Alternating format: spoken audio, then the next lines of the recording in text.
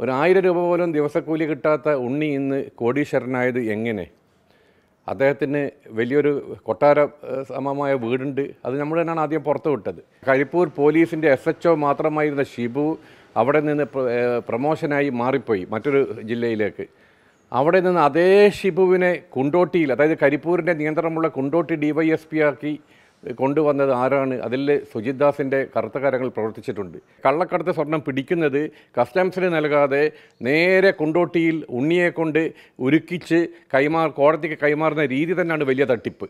അവിടെ ആരാണ് സാക്ഷി? ഈ നാല് പോലീസുകാർ ഉണ്ണിയല്ലാതെ അതിനിടയ്ക്ക് നടക്കുന്ന നടക്കുന്ന കൈമാറ്റങ്ങൾ എത്ര എന്നുള്ളത് വളരെ വ്യക്തമല്ലേ?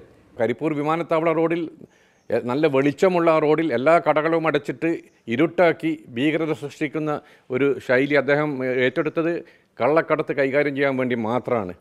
രാമനാട്ടുകരയിൽ വെച്ച് നടന്ന ഒരു ഏറ്റുമുട്ടലിൽ അഞ്ചാളുകൾ മരിച്ച സംഭവം ബൊലേറോകളിൽ വന്ന് ഏറ്റേക്ക് നിങ്ങൾ ഓർക്കുന്നുണ്ടോ? ആ സംഭവത്തിന്റെ ചില പ്രതികളെ എന്തുകൊണ്ട് കേസിൽ നിന്ന് രക്ഷപ്പെടുത്തി?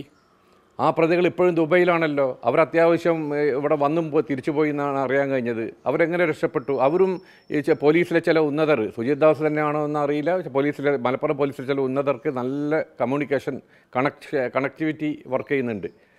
അവരാണ് അവരെ ഇത് അതൊരു കള്ളക്കടത്ത് ഗ്രൂപ്പ് എക്സ് എന്ന് വിചാരിച്ചു. അപ്പം എ എയും ബിയും സി അതുപോലുള്ള കസ്റ്റംസ് അല്ല കള്ളക്കടത്ത് സ്വർണ കള്ളക്കടത്തുകാരുടെ വിവരങ്ങൾ രാമനാട്ടുകരയിലുണ്ടായ അപകടവുമായി ബന്ധപ്പെട്ട കേസിലെ പ്രതികളായിരുന്നവരാണെന്നും എനിക്കറിയാൻ കഴിഞ്ഞിട്ടുണ്ട്.